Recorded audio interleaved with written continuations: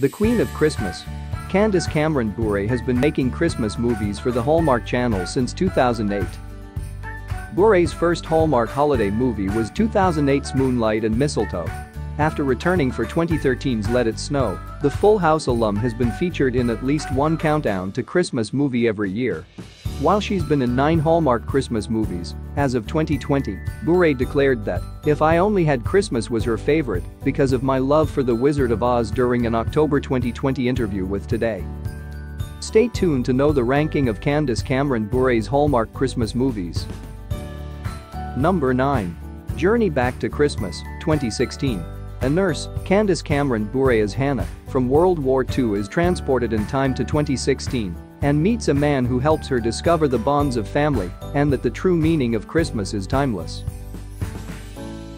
Number 8. If I Only Had Christmas, 2020. Kansas City publicist Darcy ventures to the Emerald Educational Trust for the job of a lifetime, helping Vice President Glenn Goodman and his team find the know-how, courage, and heart to help a charity in need for Christmas.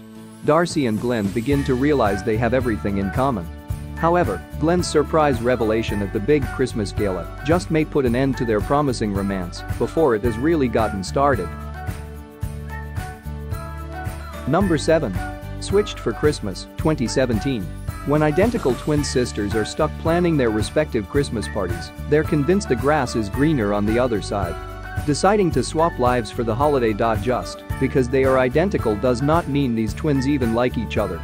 The strange twin sisters get together for an obligatory pre-Christmas lunch, a year after their mother's death. Both women are unhappy and frustrated with their own lives. Though not close, each is envious of the other's life. What's a twin to do but take advantage of this? And who would be the wiser? They do what any identical twins in need of new outlooks would do, they swap lives until Christmas Day, and by doing so, each woman discovers the true meaning of her life and gains a deeper perspective and appreciation for what she already had. Number 6. The Shoe Addict's Christmas, 2018. Noelle's life stopped when her boyfriend broke up with her on Christmas Eve three years ago. A handsome fireman moves in above her. She gets locked in at work in a department store all alone save the ghost of Christmas past. Number 5. A Christmas Detour, 2015.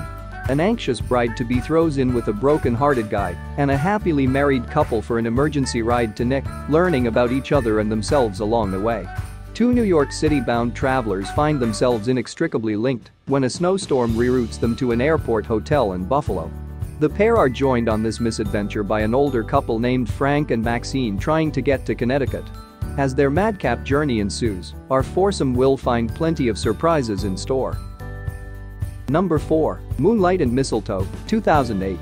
In St. Nick Crosby's old-fashioned year-round Christmas village Santaville, working as an elf on Christmas preparations all year, killed his daughter Holly's seasonal spirit. So she moved out, feeling neglected since her mother's death, to become a Boston toy firm's hardest-working sales executive.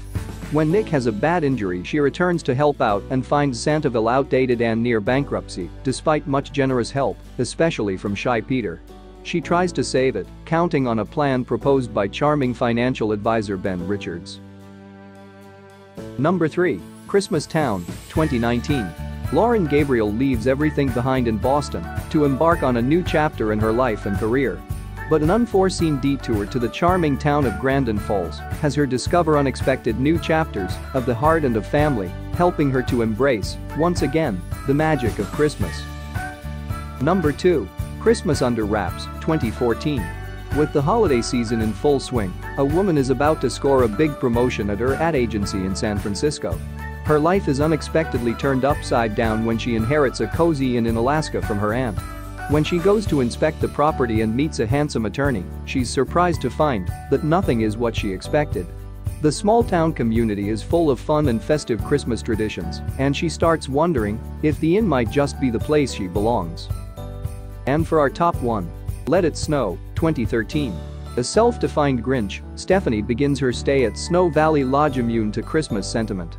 But as the lodge's festive traditions provide the Christmas Stephanie never had growing up with her distant father, Stephanie finds herself enjoying every minute.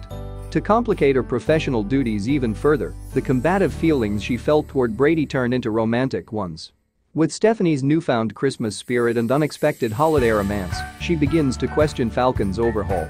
As her Christmas Eve deadline approaches, she's faced with a decision, should she transform the lodge into a new winter hotspot or embrace tradition and let it snow? What do you think is the best Christmas movie for you? Comment on the comments section below.